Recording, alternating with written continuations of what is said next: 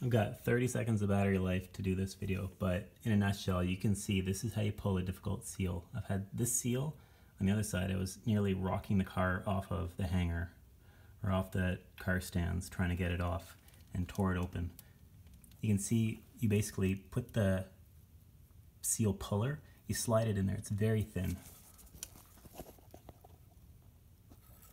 And then you hold the screwdriver in place to take up the slack between the cam and to push the seal puller up against the wall, the rubber wall of the seal.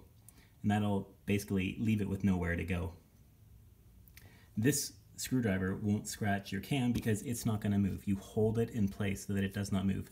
This slide, this seal puller slides over the back of the screwdriver. So the scarring, if any, is left on the back of the screwdriver and the screwdriver never moves on the on the cam shaft so that it doesn't scratch it. Anyways, it's worked wonders for me.